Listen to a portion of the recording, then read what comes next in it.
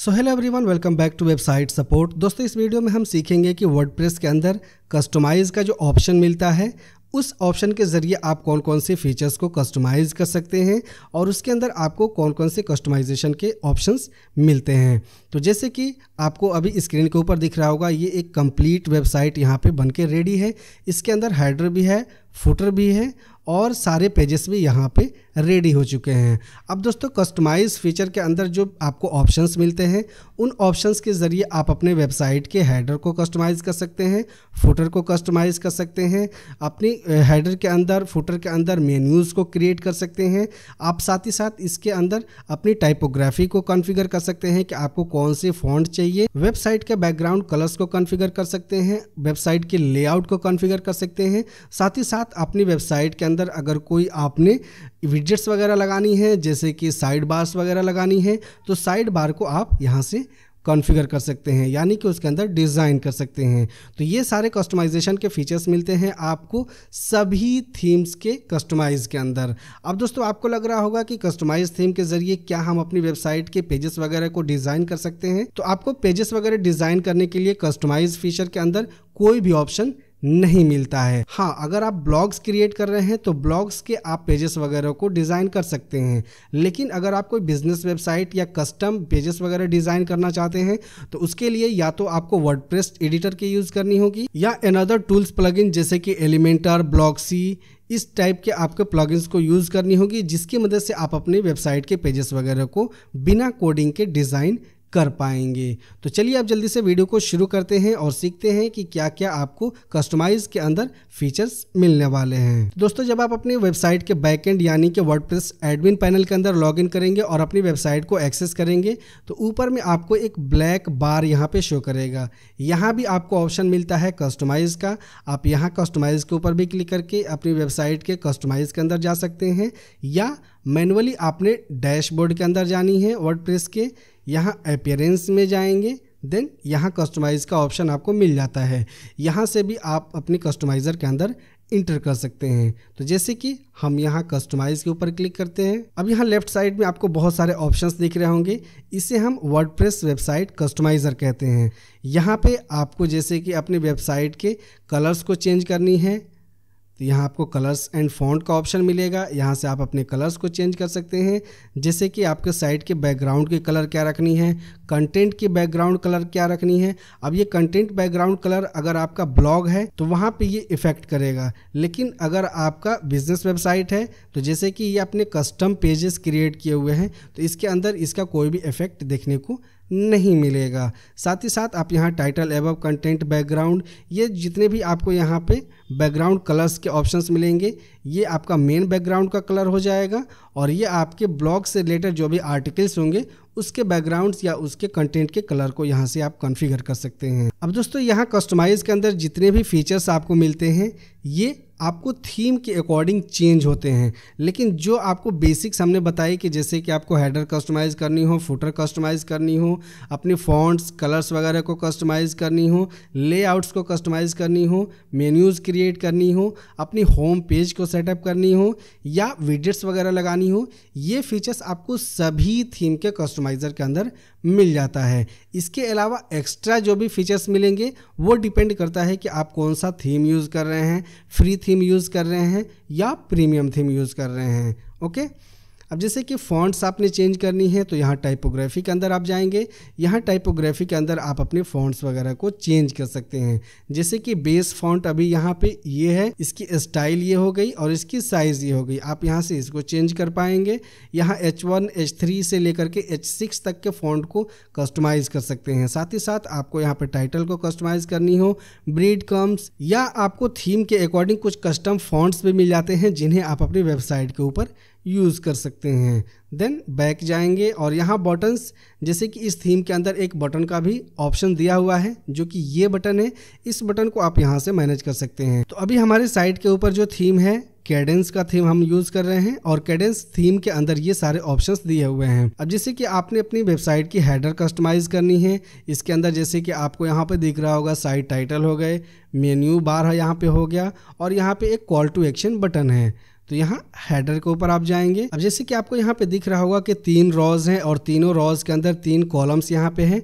इन columns के अंदर आप यहाँ पे विजेट्स लगा सकते हैं। जैसे कि आपको यहाँ पे लोगो दिख रहा होगा। लोगो यहाँ बीच वाले रॉज के अंदर लगा हुआ है। और यहाँ लास्ट कॉलम के अंदर primary navigation and call to action button लगा हुआ है। जैसे कि आपको ऊपर में भी कोई यहाँ पे विजेट्स लगानी हो, जैसे मान लीजिए सोशल मीडिया आइकॉन्स वगैरह लगानी हो, या कस्टम कोई विजेट्स आप लगाना चाहते हैं एच के कोड्स वगैरह को लगाना चाहते हैं तो आपने यहाँ प्लस के ऊपर क्लिक करनी है। जैसे कि हम यहाँ पे सोशल आइकन लगाना चाहते हैं, अपनी नेविगेशन बार के ऊपर तो यहाँ से हम चूज़ कर लेंगे सोशल जो थीम आप यूज़ करेंगे, उसी के अकॉर्डिंग आपको विजेट्स और सेटिंग्स भी मिलती हैं। हम यहाँ पे सोशल ले लेते हैं। तो अब यहाँ पे सोशल आ जाएगा। अब सोशल के अंदर आपने कस्टमाइज़ करनी है तो यहाँ सेटिंग्स के अंदर जाएँगे और इन पेजेस के अंदर, यानी कि सोशल मीडिया के अंदर आप यहाँ पे अपने पेजेस के लिंक्स वगैरह लगा सकते हैं। यहाँ पे आपको सेट सोशल लिंक्स का ऑप्शन मिलेगा। जैसे कि फेसबुक के अंदर आपको कौन सी पेजेस का लिंक लगानी है एक्स के अंदर कौन सी लगानी है थ्रेड्स के अंदर कौन सी लगानी है, इस तरीके से आप अपने सोशल मीडिया के अंदर लिंक्स वगैरह को यहाँ पे ऐड कर पाएँगे। अब जैसे कि इसे आपने रिमूव करनी है तो यहाँ से सिंपली आप इसको रिमूव कर सकते हैं। यहाँ लोगो चेंज करनी है तो सेटिंग के अंदर जाएँगे और यहाँ से लोगो आप चेंज कर सकते हैं। लोगो आपने नहीं शो करनी है, आपको site title and tagline show करनी है तो आप यहाँ पे साइट टाइटल शो कर सकते हैं। यहाँ पे टैगलाइन अभी हमने कोई फिल नहीं किया हुआ है, इस वजह से टैगलाइन नहीं शो कर रहा है। इसके अंदर आपको यहाँ पे बहुत सारे स्टाइल्स भी मिल जाएँगे, आप यहाँ से स्टाइल्स भी चूज़ कर सकते हैं। उसी तरीके से फूटर के नेविगेशन के अंदर आपने कस्टमाइजेशन करनी है तो फूटर के अंदर आपको आनी है और इसी तरीके से आप यहाँ फुटर के अंदर भी कस्टमाइज़ कर पाएँगे। यहाँ भी आप अपनी माउस क्रशर को ले जाएँगे तो पेंसिल का आइकन मिलेगा। जिस भी सेक्शन के अंदर आपने विजेट्स वगैरह को एडिट करनी है कस्टमाइज़ करनी है, आप यहाँ से एडिट कर सकते हैं। अब जैसे कि विजेट के अंदर ये हो गया आपका मेन एरिया इस पेंसिल के ऊपर आप क्लिक करेंगे। तो यहाँ फूटर के अंदर आप कॉलम्स वगैरह भी सेट कर सकते हैं कि आपको यहाँ पे कितने कॉलम्स रखने हैं। अब एक कॉलम के अंदर यहाँ पे देख सकते हैं कि एक विजेट लगा हुआ है। जैसे कि ये चार कॉलम्स हो गए। अगर आपने पाँच कॉलम्स रखनी है तो आप यहाँ पे सिलेक्ट कर लेंगे। फाइव कॉलम्स तो ये पाँच कॉलम्स हो जाएँगे। और यहाँ पे एक्स्ट्रा एक और आपको विजेट का ऑप्शन मिल जाएगा। प्लस के ऊपर आप क्लिक करेंगे और यहाँ से विजेट सिक्स या विजेट फाइव आप ले सकते हैं और उसके अंदर आप फीचर्स वगैरह ऐड कर सकते हैं। जैसे कि हम यहाँ पे प्लस के ऊपर क्लिक करते हैं और यहाँ से हम विजेट फाइव ले लेते हैं। अब यहाँ विजेट फाइव के अंदर आपने फीचर्स को ऐड करनी होगी कि आप यहाँ पे विजेट फाइव के अंदर क्या रखना चाहते हैं। जैसे कि आपने फॉर्म लगानी है तो आप यहाँ पे फॉर्म लगा सकते हैं। ये हो गया फॉर्म और यहाँ से हम सोशल को डिलीट करना चाहते हैं तो इसे हम कर देंगे यहाँ से डिलीट तो यहाँ पे एक कॉन्टैक्ट फॉर्म भी आप लगाना चाहें, या इसके जैसे और भी कोई विजेट आप लगाना चाहें तो आप यहाँ पे लगा सकते हैं. तो मैं यहाँ पे इसके कॉलम को फोर रख देता हूँ. अगेन हम यहाँ सेटिंग्स के अंदर जाएँगे. यहाँ से हम कर देंगे फोर तो यहाँ पे चार ही कॉलम्स रहेंगे और एक कॉलम्स यहाँ से रिमूव हो जाएगा। इसी तरीके से आप यहाँ सभी कॉलम के अंदर इसके पेंसिल के ऊपर क्लिक करेंगे और वहाँ से जा कर के आप इसे कस्टमाइज़ कर सकते हैं। जैसे कि ये नेविगेशन मेन्यू है। नेविगेशन मेन्यू के अंदर पहले आपने यहाँ पे टाइटल दे दिया। अब यहाँ पे आपने उस मेन्यू को सिलेक्ट करनी होगी, जो मेन्यू आप यहाँ पे शो करना चाहते हैं। तो यहाँ पे शो करने से पहले आपने मेन्यू क्रिएट करनी होती है। तो चलिए अब हम सीख लेते हैं कि किस तरीके से आपको कस्टमाइज़ के अंदर मेन्यूज़ को क्रिएट करनी होती है। तो हम यहाँ पर बैक जाएँगे। यहाँ मेन्यूज़ के अंदर हम गए। देन यहाँ क्रिएट न्यू मेन्यू इसके ऊपर हमने क्लिक किया। और यहाँ पे हम अपने मेन्यू का नाम देंगे। यहाँ पे हम जैसे दे देते हैं प्रोडक्ट मेन्यू देन नेक्स्ट अब यहाँ पे आपने आइटम्स ऐड करनी है कि आप यहाँ पे कौन कौन सी पेजेस कैटेगरीज या टैग्स को शो करना चाहते हैं। तो यहाँ ऐड आइटम इसके ऊपर आपने क्लिक करनी है। यहाँ से अगर आप पेजेस को शो करना चाहते हैं तो आप यहाँ से पेजेस को चूज़ कर सकते हैं। आप यहाँ कैटेगरीज को शो करना चाहते हैं तो कैटेगरीज को चूज़ कर सकते हैं। जैसे कि हम यहाँ पे कैटेगरीज को चूज़ कर लेते हैं। ओके, ये सारी कैटेगरीज हमने चूज़ कर ली।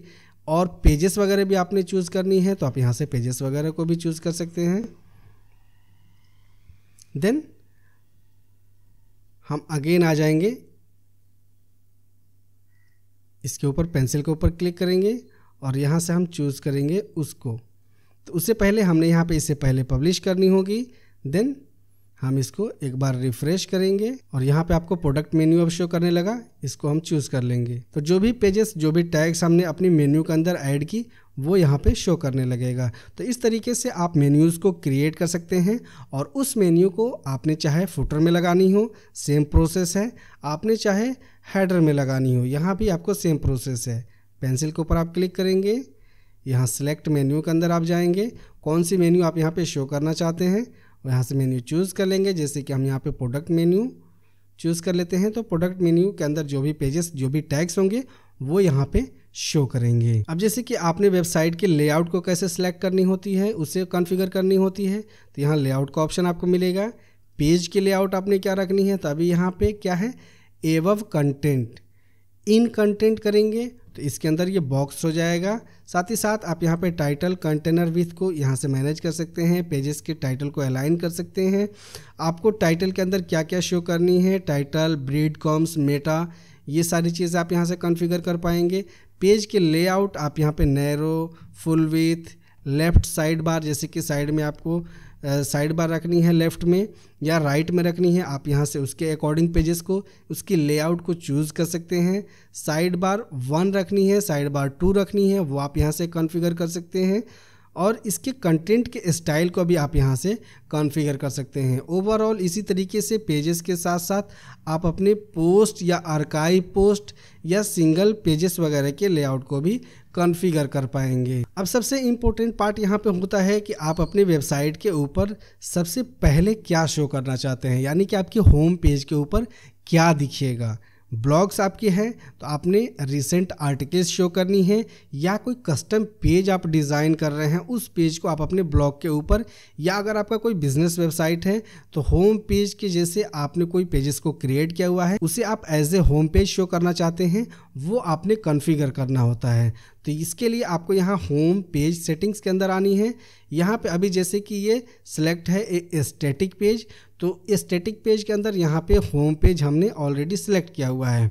अब इसके अंदर मान लीजिए कि हमने सर्विसेज़ के पेजेस को शो करनी है। जैसे कोई भी हमारी साइट के ऊपर आए तो सबसे पहले उसको सर्विस का ही page as a home page show करेगा। तो आपने यहाँ पे उस पेज को चूज़ करनी होती है। जैसे कि हम यहाँ पे सर्विस को चूज़ कर लेते हैं। तब कोई भी साइट ओपन करेगा तो मेन पेज यही शो करेगा।